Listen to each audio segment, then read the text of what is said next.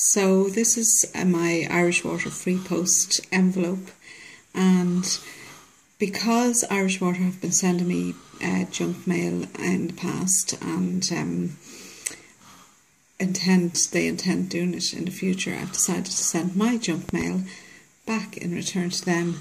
So um, I've just got a few bits here. I'll just show you maybe some bits that should be for recycling. Uh, post sky. Let's see how we get on with this. I'll see what I can fit in this envelope. I've invested in a whole pack of envelopes for this. So um, we should be okay. It's free post anyway, so. Now, a bit more. This, I won't need this, but they help Irish water. So, Fine Gael. So, that can go in. Um, maybe I should have filled it in, should I? No, it's not me they're helping, it's Irish Water they're helping, so it's no use to me.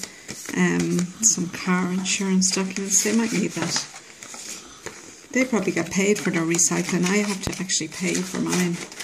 So, um, yeah, I think, wait now, we're nearly full up now.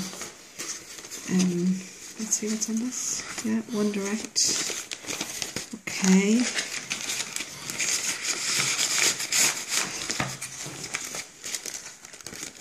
And that's enough for that envelope. And I will do another envelope later.